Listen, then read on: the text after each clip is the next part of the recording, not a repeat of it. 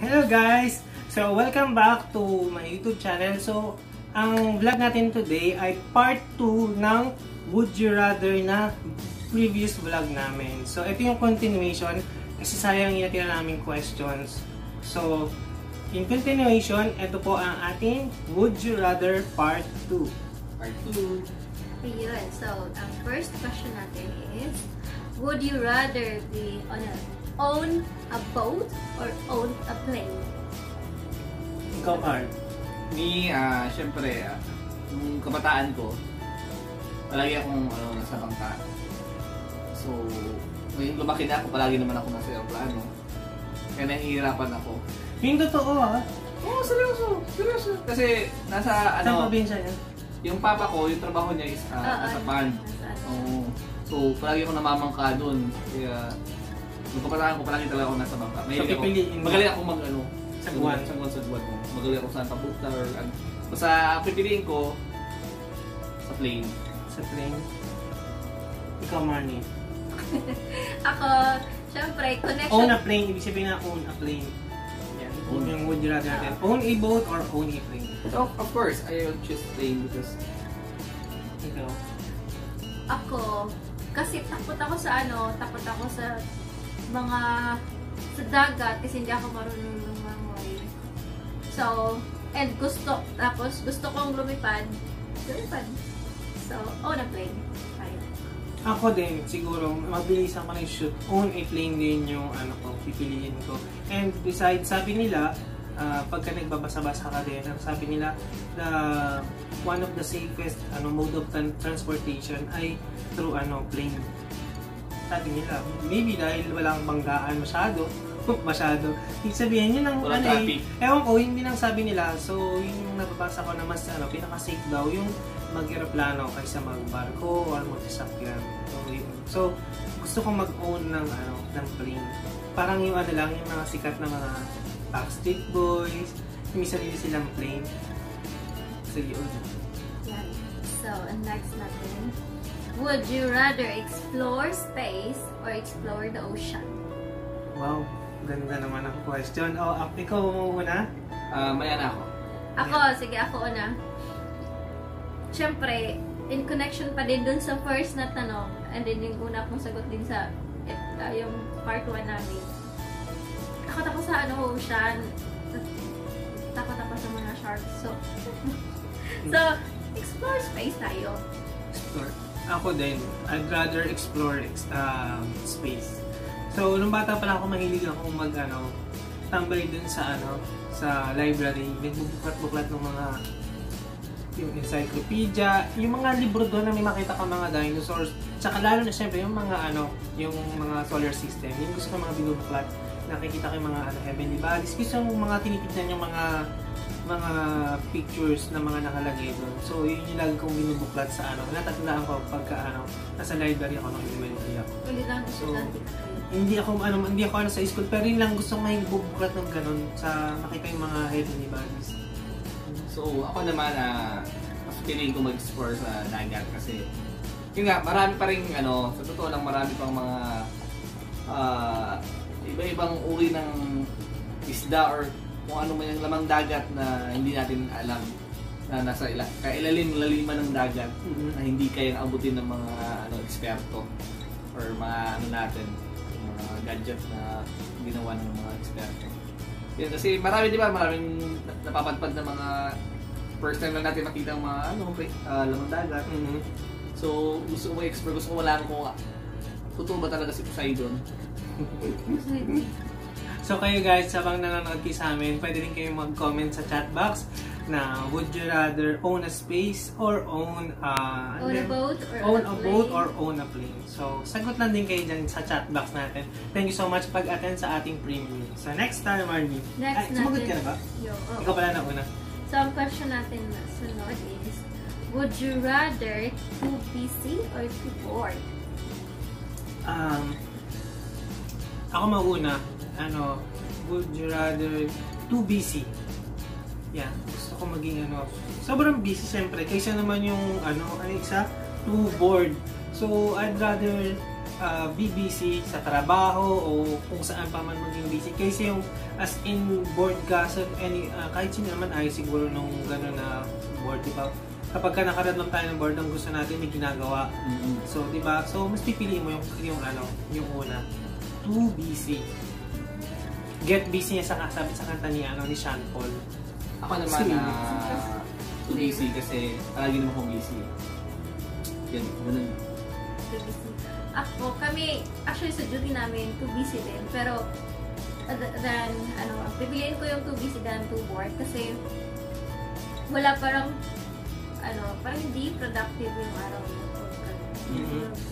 Wala kang ginagawa. At the end of the day, kahit sobrang busy ka din, pero parang naisip mo, at least may ginawa ka sa buong buhay, o sa buong araw. I would rather choose too busy over too bored. Mhm. Too busy. Mhm. Yeah, so next next question natin. Next. Would you rather win the lottery or live twice as long? Grabe naman yan. Ako, ako na mauna. Kasi na-shock sila sa tanong. So ako, kung pipiliin ako, mas pipiliin ko yung win the lottery. Kasi, ah, kung live twice as long, dalawang beses kang mabubuhay, ikaw lang naman eh, hindi naman sila, hindi naman nakalagay dyan na buong family mo. Siyempre, mas pipiliin ko yung ano, ah, win the lottery, at least naibigay ko yung ano, pangangailangan ng family ko. At ayun, na-travel ko sila, at least sa, sa isang buhay na may binigay sa'yo, nagawa mo naman lahat na paligaya mo sila. Yun, win the lottery. Ako, Go. sige. Practical, practical tayo na sagot. win the Di ba nga, win the lottery? Kasi may kasabihan tayo na we only live once. Yun kasi yung reality. Pero kung yung once na yun, you live it, ano, at it's, ano, ano ba? Yung pinaka, life to the to fullest. the fullest. Oh, yun. So, kung na maximize na, na maximize? Yung, na-live mo naman to the fullest yung ano, fullest. yung, yung life mo. So, you don't have to, ano, to live twice. So yun yung pipiliin mo. So, yun. Um, live twice as long. Ano, win the lot lottery. win the lottery. Kasi parang, doon mo kasi, parang, na ano mo kasi siya, parang ma-enjoy mo kasi siya. Kasi, yeah, won the lottery.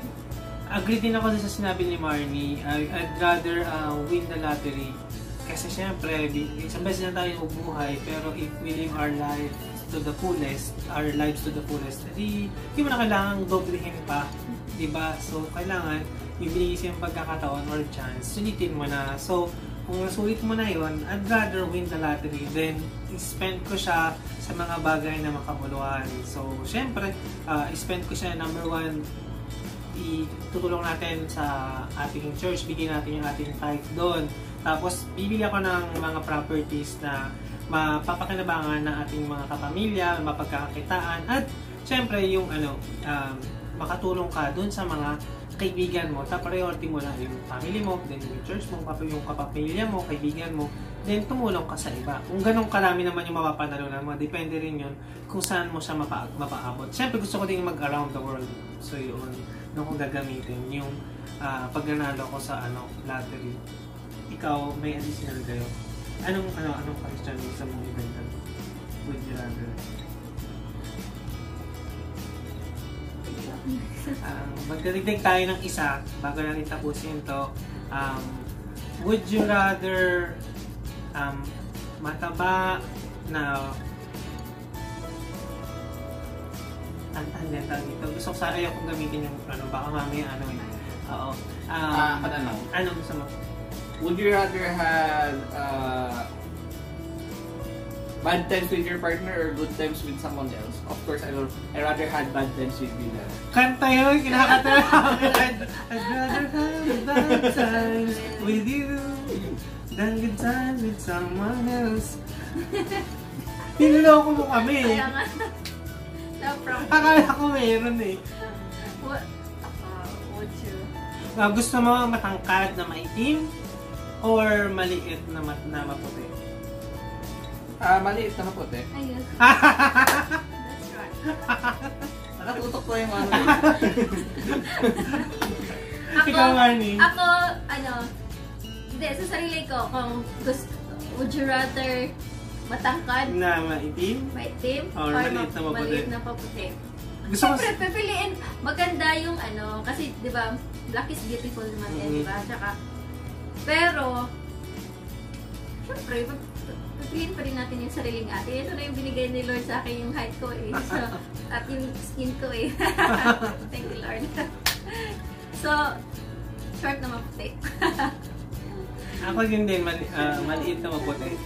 Depende naman yun sa isip mo kung ano yung question na compare sa personal mo or sa taong gusto mo. So, kung paano mo matat ma, ano, tanggap yung question. So, gano'n naman sa sagot ko doon. And dito na namin tatapusin tong ano. to. Meron pa kayo? Gusto ipa ano? Would you rather? Isa? Pwede pa tayo kung isa? Hmm. Kung papipiliin kayo, ah, magstay dito sa Saudi? Saudi or mag-transfer ng other country? Okay. ah, Sa panahon ngayon, Ikaw eh. mo una, Marnie. Next, uh. Oo. Okay, ako na lang kasi Ah, sige, nagtagal si Liz. Ah, for me, if may magandang opportunity sa other country, siyempre, lilipat ako. Ganun sa'yo. Ikaw, Marnie. Actually, ano, ano ako dyan, wala, nasa center lang ako doon. Uh, nagpapaano lang ako sa will ni Lord kasi at this time, parang napaka ano, uncertain lahat ng mga bagay-bagay. So, God willing. Ako naman, ano, I'd rather... Ano yung question mo? Magstay dito? Ako, I'd rather stay here in Saudi Arabia kasi dito tayo pinagpala, dito tayo nakasupo na magandang trabaho, tapos dito rin tayo maraming naging nakilalang friends and um, okay naman yung takbo ng bagay, bagay-bagay sa trabaho, sa kumpanya. So, I'd rather stay here kaysa mag-take or makapagsapalaran dun sa ibang bansa na wala pang kasiguraduhan. And besides, sa company ko dito, nakakaano na ako, um, 2000, 2012 ako dumating dito. So, nakaka 9 years, magda 9 years na ako. So, konti na lang, makaka 10 years ka na. And, mas maganda yung makakompleto mo yung 10 years. And, syempre, mas nagpas pa doon. Gusto, gusto kong ma-achieve sa sa company na to. Kasi nga, okay din naman. na subok na yung company. Dumaan kami sa pandemic, may sahod kami, buuin sahod namin. So, bakit mo iiwanan yung, ano, yung subok na na kumpanya. So, maybe soon magbabago siya. Halimbawa, mapangasawa mo, nurse, tapos mag, mag-Amerika or mag-UK or mag-ibang bansa pa, Canada, then that's the time to decide. Pero ngayon, I'd rather stay here in the Kingdom of Saudi Arabia. Kasama ang ating mga ka-Saudi living. Yan sila. So, with. With that, dyan na lang po ating tatapusin ang ating vlog na part 2 ng ating Would You Rather na vlog. So, mega love shoutout muna bago ko tapusin to sa ating mga kapamilya dahil hindi ko nabanggit kanina sa isang vlog. Yung mga kapamilya natin sa Art by John Ray Family, mega love shoutout na sa aming supportive na admin na si John Ray Millares at sa kanyang YP na si Lady Lady Jen. So, uh, shoutout sa inyo at sa lahat ng aming mga kasama dyan. So, God bless everyone. Thank you so much for watching. Remember M, remember E, remember, Remember me. Agri Nation, out!